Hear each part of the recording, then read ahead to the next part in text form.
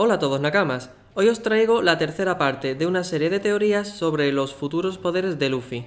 En este caso vamos a hablar de la que creo que será la forma definitiva de la cuarta marcha, pero vayamos poco a poco, hay mucho que comentar.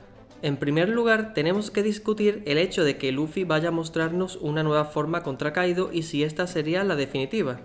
Está claro que la tendencia de Oda, desde que nos mostró la cuarta marcha, es impresionarnos con una nueva forma para cada oponente serio con el que Luffy se enfrente, y siempre adaptándola a una versión que le facilite el estilo de combate con el que pueda hacer frente al rival. Contra Doflamingo vimos que Luffy, utilizando la segunda marcha, no podía dañarlo, no eran suficientemente potentes sus puñetazos, por lo que fue la excusa perfecta para estrenar el Boundman con un oponente real tras haber estado desarrollándolo y puliéndolo durante el time skip. Contra Cracker, Luffy finalmente tuvo que modificar la cuarta marcha para que destacase en defensa, es decir, el Tankman, y luego contra Katakuri desarrolló una centrada en velocidad, el Snakeman.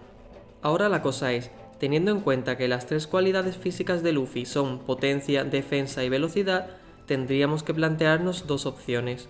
La primera es que el Boundman sea la forma polivalente, ya que destacaba en sus tres cualidades, y por lo tanto la nueva y última forma de Luffy sea la que destaque en potencia. La segunda opción es lo contrario, que el Boundman sea la forma centrada en potencia y que la nueva y definitiva sea una polivalente que destaque en sus tres cualidades. Sé que hay argumentos para defender la primera opción y que ya varios teorizadores han apostado por una nueva forma centrada en potencia, y por eso mismo en esta teoría os voy a proponer la otra opción, que la forma definitiva del GR4 sea la que destaque en todo. Y voy a contaros los argumentos que me han llevado a pensarlo. El primero es más bien un razonamiento, si Luffy finalmente va a desarrollar una forma definitiva, como resultado de haber estado practicando con prueba y error con sus tres formas anteriores, lo lógico sería pensar que ésta sea más poderosa que las anteriores y que ya no le sea necesario dar un paso atrás y volver a ellas. Por lo tanto, esta cuarta y última forma tiene que destacar en todo y ser atractiva para los lectores.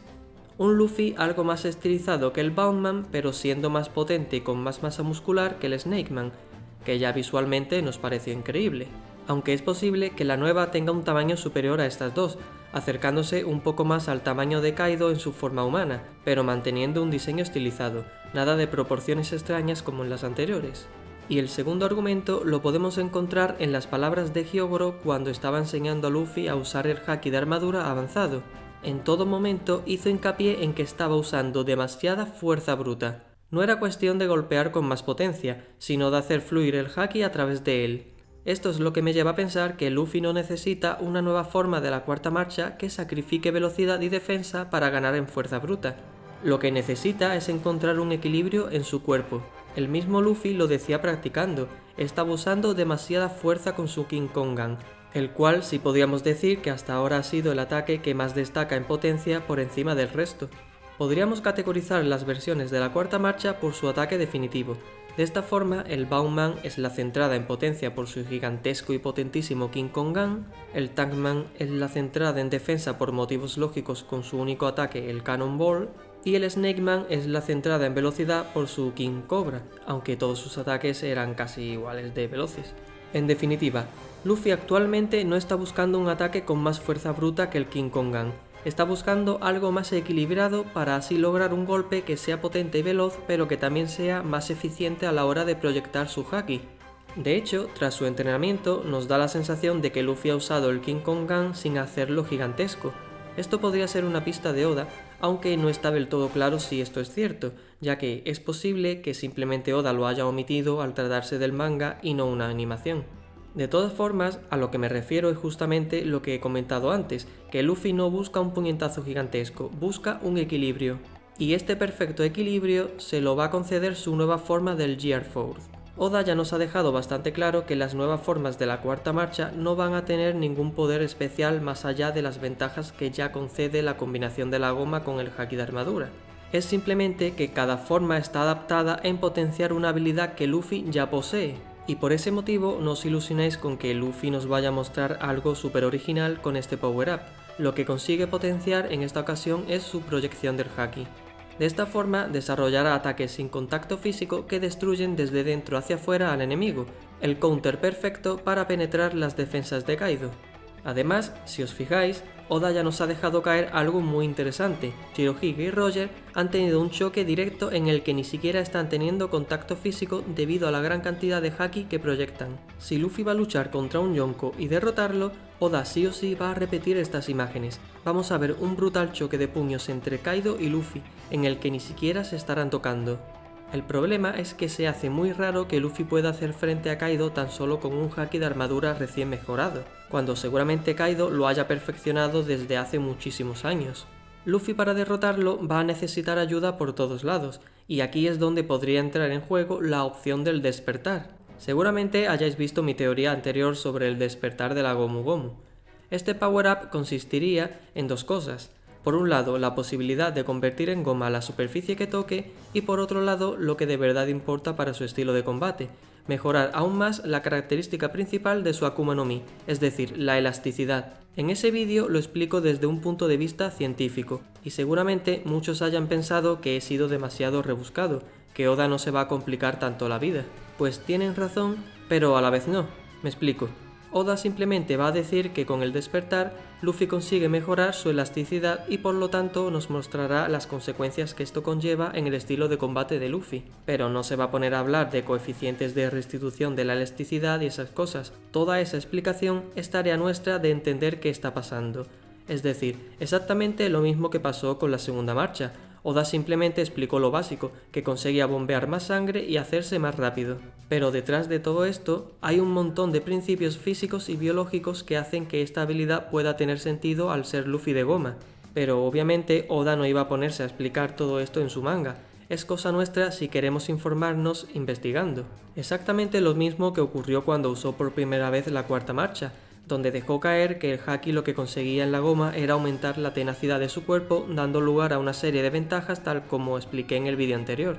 Pues con su despertar va a ocurrir lo mismo, Oda tan solo va a mencionar lo básico. La goma de su cuerpo ahora se vuelve más elástica y puede devolver los golpes que rebotan en él con una mayor energía y de igual forma podrá impulsarse con una mayor potencia.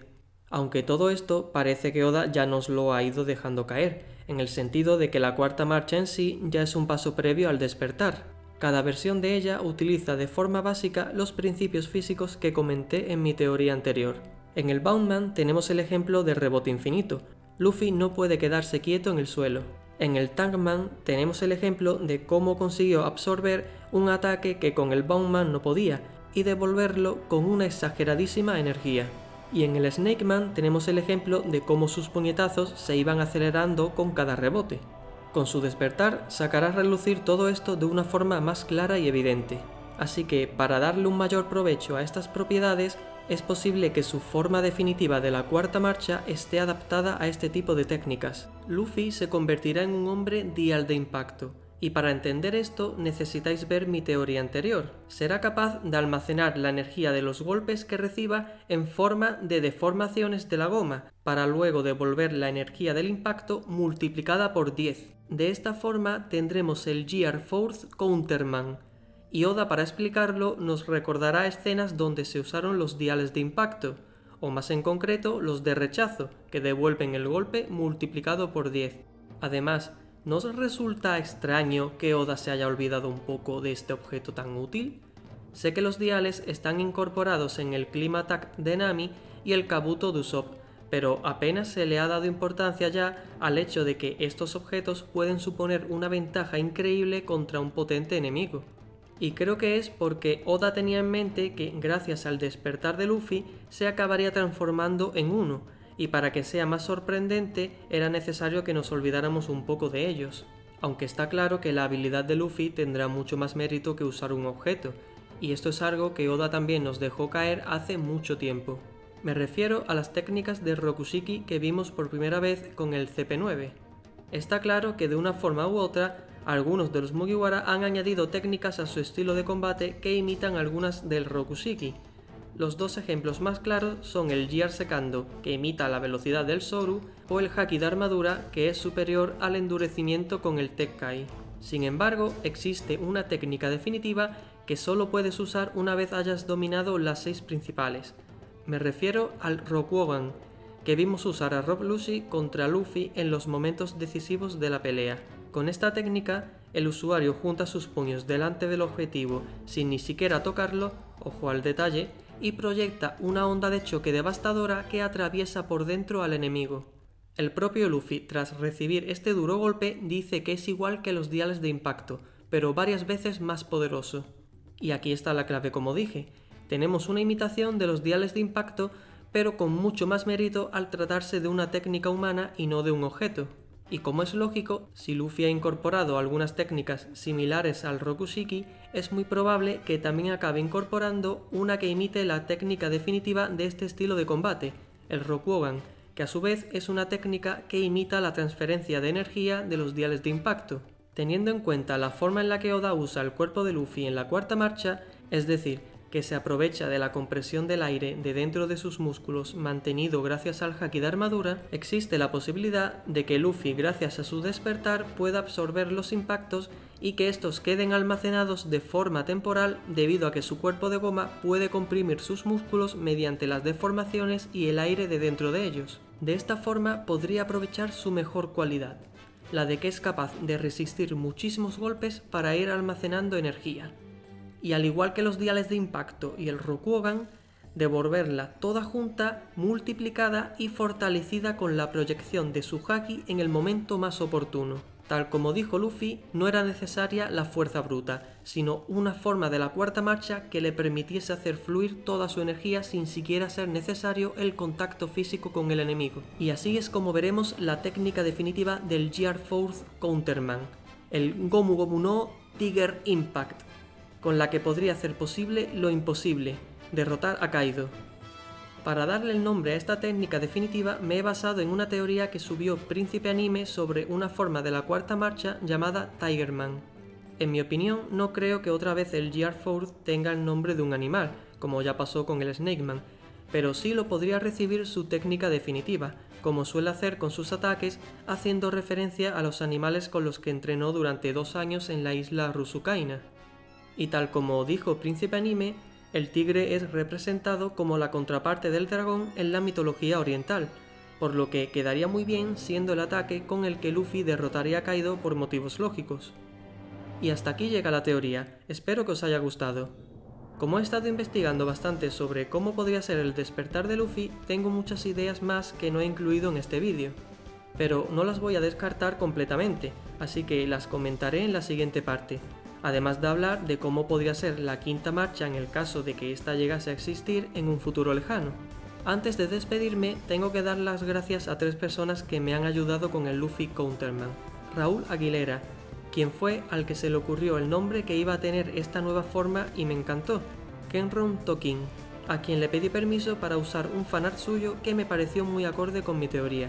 Y a Diego Amorín, quien me hizo el coloreado de dicho fanart y quedó genial. Por último, vuelvo a recordaros que he creado una tienda de camisetas con diseños exclusivos de anime.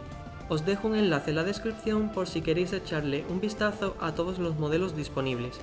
Y ahora sí me despido, un saludo y nos vemos pronto.